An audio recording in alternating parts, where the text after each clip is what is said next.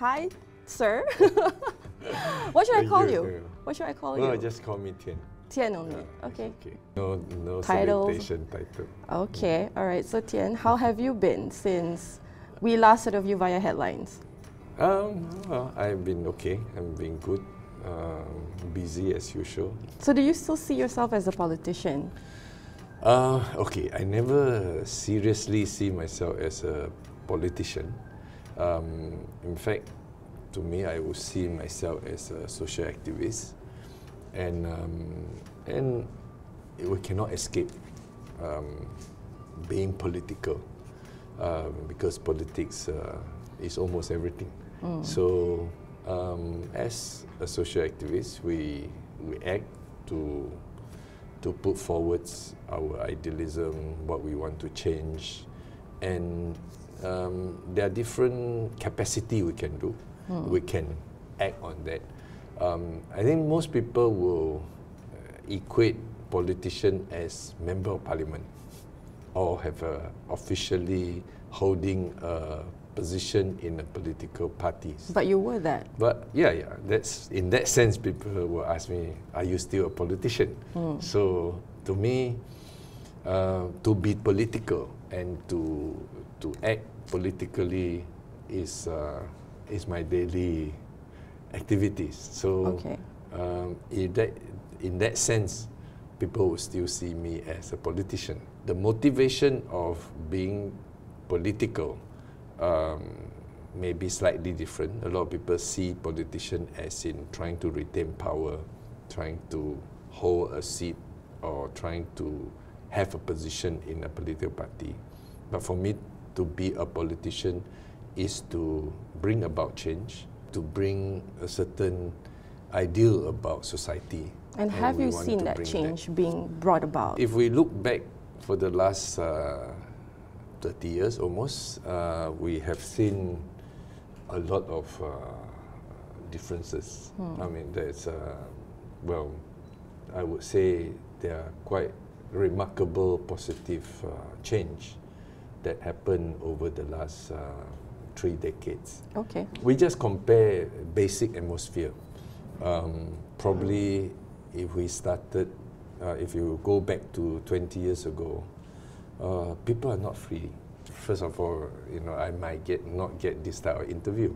Okay. Yeah, and even if you get this type of interview, So you're your trying to say media was more your- controlled back then? Yeah, your Okay. editor will be very kanchong.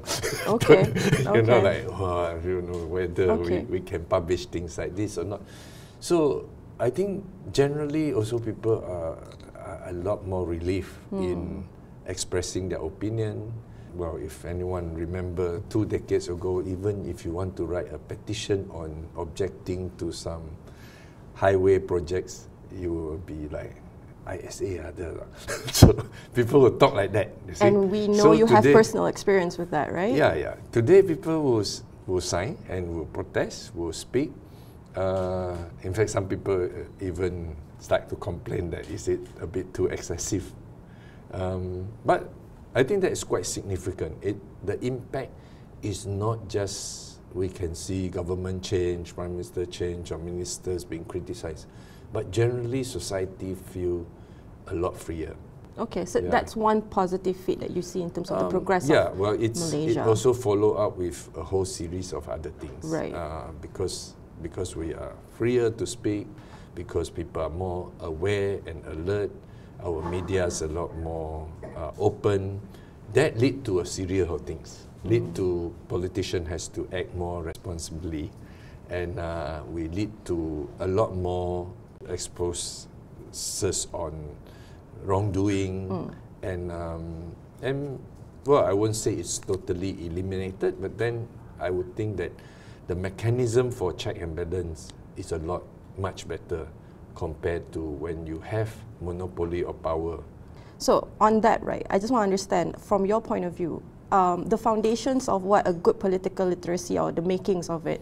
Yeah. What what do you think makes? I think good- it's it's it's raised on a very uh, a, a, a groups of informed um, what is it called informed constituency. Uh, well, people in the communities are a lot more aware and to understand uh, whatever policy implication they have. So this this will be a a good uh, foundation for a healthy democratic system. We gone with the day that we depends on benevolence or honest leaders to lead the country. We need the people who lead the leaders to do what the people want. So it's like turning the tables around, basically. Yeah, I mean that's what democracy means. You see, Dem- demo means the people, the rakyat. You know, and when we first started, be- beside the popular uh, reformasi slogan, we used to say ketuanan rakyat means that you know the peoples are the master of this nation. What's the difference between speaking freely and speaking without thought? I think a lot of time, um, if we do not have the information, then people speak without thoughts. Okay, and uh, speaking without thoughts was allowed, but not uh, not informed criticism. Okay, you see, uh, speaking without thoughts is that when you walk around the street, you say, "Why so many migrant workers?" The crime rate increased because of these people coming in to the country. That is without thought, without information. Um, we say, "Oh, why all the Chinese is taking over the business? What happened to us who are being oppressed?" So that is speaking without thoughts. Okay. You know, uh, people who say, uh, why all these civil servants so lazy and not doing work for the country? That's also speaking without thoughts. And in fact, they were allowed, right? But when we pick out a whole stack of document to say that why this project is being rewarded without tender, why this uh, big sum of money, a few millions, gone o- disappeared, why you know they're supposed to be a cow rearing project and not to be using it for real estate investment, they were not allowed. We were charged, we were were attacked, and the press were not allowed to print it. Simply for just raising the matter, basically. Yeah, for reading with facts and with uh, with information. There's certain tendency to allow the society to go for this very superficial, very gut feeling type of uh, expression, and that is part of the problem today. Right? People just speak to say my problem is because my race was opposed by the other, was oppressed by the other race, or I'm poor because uh, because you know the other groups are stealing the resources of this country, or I'm I'm uh, what's I call this country is uh, go downhill because of certain race are too lazy. Right. So these are things that has been promoted uh, unofficially as a politician, as political activists, as NGO activists, as media.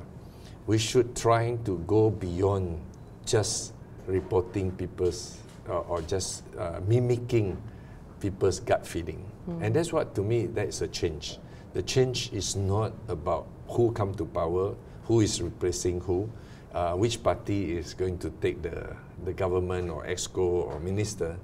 Uh, instead, there is a qualitative change on the, the society, where societies understand the problem they face and they all collectively trying to seek solution So your main push is for the rakyat to just rise, basically, to be to more. rise uh, to understand beyond what uh, superficially being told, right? So Why do you think they still, you know, fall for these traps, right? uh, people who have vested interests tend to only present one side of the story so that they can continue to hold on to power. Uh, people who um, are guilty of um, misappropriating the rakyat trust, the people trust will tend to trying to seek blame on others so that they are not responsible. So I think that's why a democratic system come together not just by having people have, have a, uh, rights to vote, but also free media, uh, independent judiciary, as well as uh, a transparent administration. So that has to come in one package.